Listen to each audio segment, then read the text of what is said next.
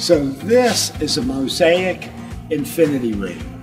I call these infinity rings because they have no beginning and no end. And if you start at any point, say right here, and you go around one revolution and goes to the middle and you stay on that edge and you go around two times and over the top and around three times you wind up where you started from. This one happens to be a work in progress, like most of the pieces in the studio are works in progress. Like we're still working on the base here.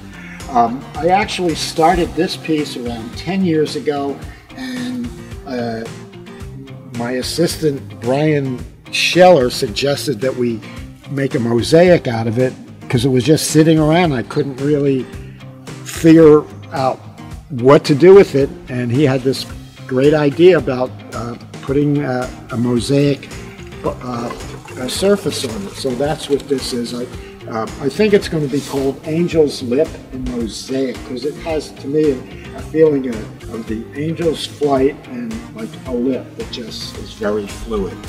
So uh, the substrate here is ceramic and uh, the surface is mosaic. It's mirrors, it's uh, stained glass and hand painted glass.